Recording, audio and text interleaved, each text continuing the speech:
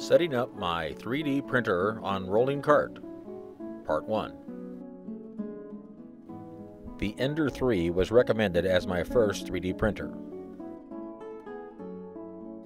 Being advised the wobbly wheels of a rolling cart would not be a firm platform, I needed to add outrigger feet for stabilization.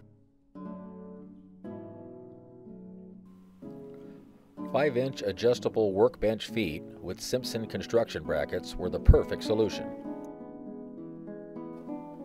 The stabilizers would be mounted to the existing corners with coupler nuts. The bolts were removed and the brackets clamped in place to mark drill locations.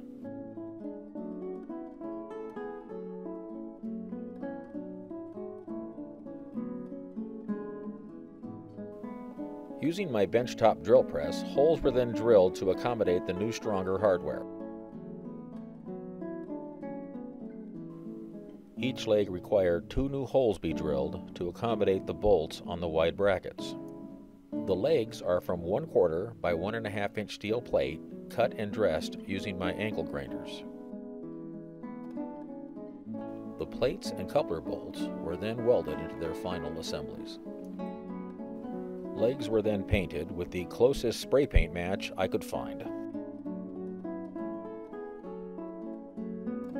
Each were then securely mounted in place using the stronger fasteners.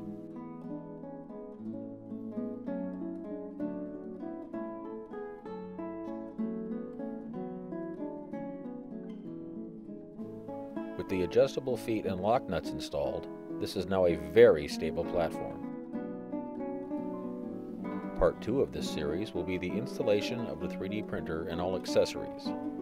As always, please visit my website www.whatsyourcaliber.com.